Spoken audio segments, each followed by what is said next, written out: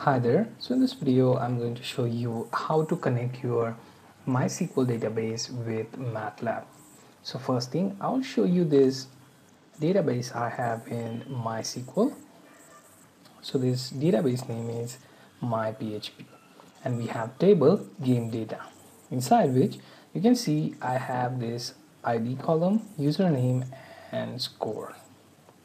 So basically this is the typical database for any game where it stores username and its respective score for that day. So I'm going to fetch this data in MATLAB. So open your MATLAB and you have this apps tab in your MATLAB main window. So you have home, plots and apps. So as you can see, I have this drop down button here I'm going to drop down and scroll to the bottom. And here you can see database explorer. Click on that and it will open one more tab with name database explorer.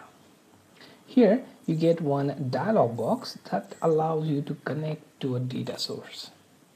And the type of data source you have here is Excel, MS Access, Visio, MySQL, MySQL Server DB and this SQL Server DB means SQL Server from Microsoft. So choose MySQL for this video. Then type the username, let's say root and then password. In your case, this is going to be completely different. So use those credentials accordingly.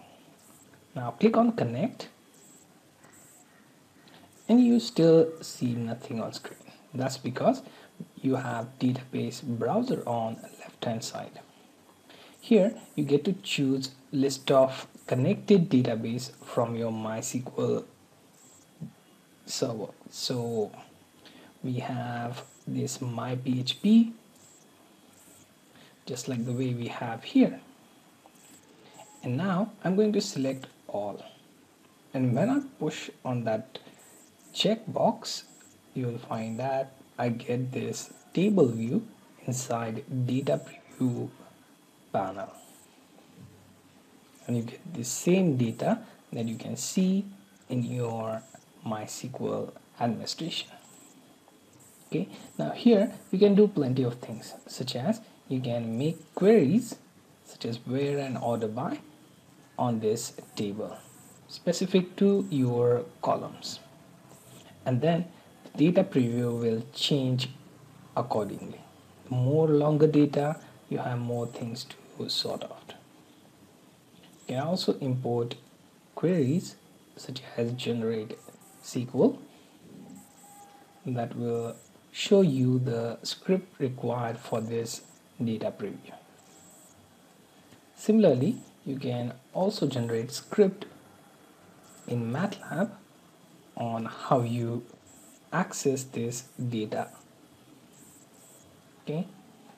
As you can see it takes your credentials then it checks for your respective columns and then fetches it shows it and then closes the connection.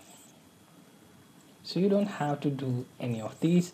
Just use database explorer and manipulate your data the way you want also you can work on multiple database at the same time then process them and export. You get option for connecting new database through this new option. You can choose ODBC if you are on Windows JDBC if you're on Linux Windows and Mac. Also you can connect to system specific connections using this connect option and recent connection will show how many some of such databases you accessed on your desktop.